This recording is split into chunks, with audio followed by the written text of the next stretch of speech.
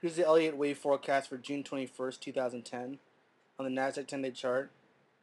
From uh, the truncated fifth wave low, looks like wave 1, wave 2, wave 3, and wave 4, 3. And tomorrow, we in this week, may, we might get 5 or 3 up. The futures are up about 20 in the NASDAQ. So um, there's a chance that we can get to as high as 2382 this week, which is the 0.618 retracement level. For S&P, it's like wave 1, wave 2, wave 3, wave 4.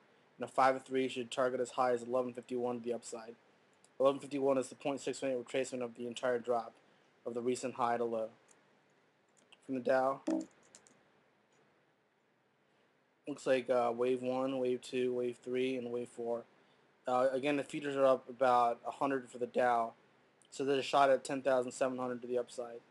10,700 is the 0.618 retracement of the recent drop. If we can break that and close above that level, there's a chance we can we can break higher highs. The first stop would be 0.618, and uh, a break above that again would could could um, cause uh, higher highs to be tested. Futures are up big right now, so there's a good chance we might get those targets this week. That's a wrap.